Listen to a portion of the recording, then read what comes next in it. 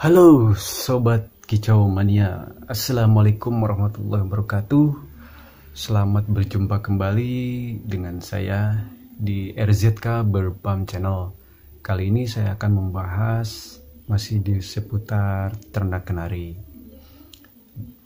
Dalam kesempatan ini saya akan menceritakan atau berbagi pengalaman tentang gimana sih caranya indukan kenari bisa berproduksi atau bisa menghasilkan anakan di setiap bulannya itu.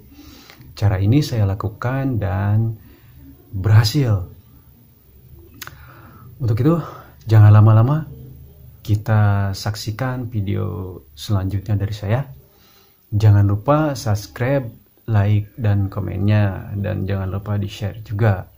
Supaya channel saya bisa berkembang lagi. Let's check it out.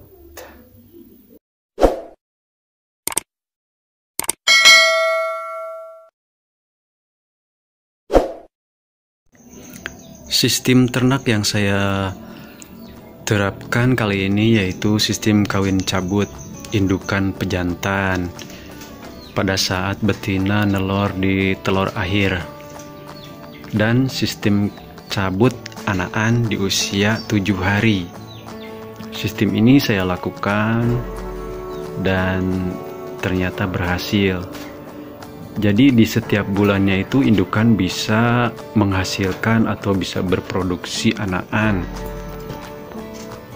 Contohnya babon panda ini sekarang itu produk ketiga dan sekarang posisi angrem nelor pertamanya itu di tanggal 21 nah prediksi menetas di tanggal 3 November. Jadi hari ini tanggal berapa? 26 berarti hari kelima di Angrem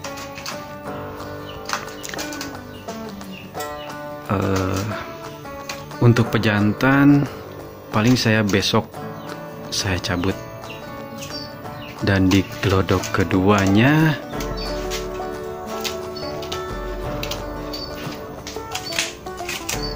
babon kedua.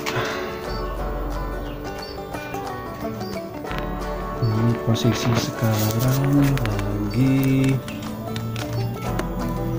menoloh anak-anaknya hari ini anak-anaknya itu berarti umur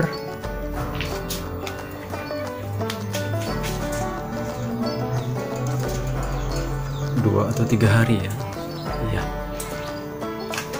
Nah sistem ini sangat cocok untuk kita yang uh, kegiatannya di rumah. Jadi anakan pada saat umur seminggu kita ambil dan bantu lolo. Kemudian indukan di hari ketiga itu bisa dijodohkan lagi sama pejantan. Nah, pada hari kelima atau keenam indukannya itu bisa bertelur lagi.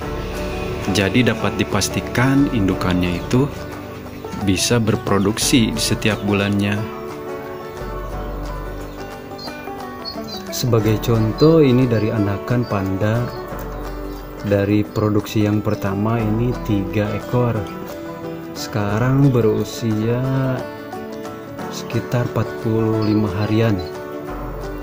Ini dulu saya cabut di usia seminggu kemudian saya lolos sendiri.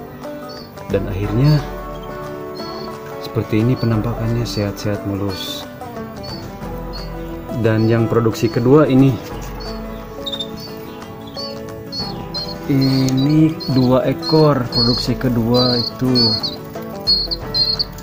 Alhamdulillah keluar anakan warna Isabel dan warna putih pocong. Alhamdulillah sesuai harapan. Waktu itu anakan produksi yang kedua ini netas di tanggal 6 Oktober. Jadi hari ini genap usia 22 hari. Di setiapnya setiap harinya saya lolo pakai fur yang ada jualan di kios-kios itu dicampur sama kuning telur dan hasilnya alhamdulillah sehat-sehat.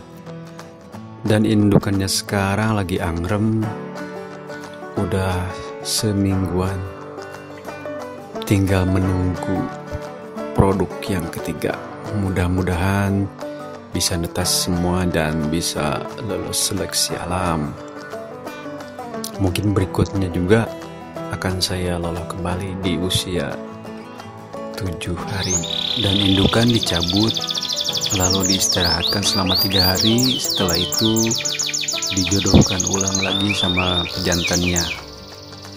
Dan setelah tiga hari penjodohan biasanya indukan mulai bertelur lagi nah teman-teman dengan sistem kawin cabut dan cabut anakan ini sangat menguntungkan sekali untuk kita terutama kita beraktivitas di rumah. Jadi anakan bisa terawat dan terurus. Demikian video singkat dari saya. Mudah-mudahan bermanfaat. Mohon maaf bila ada kesalahan dan kekurangannya. Sekali lagi terima kasih. Wassalamualaikum warahmatullahi wabarakatuh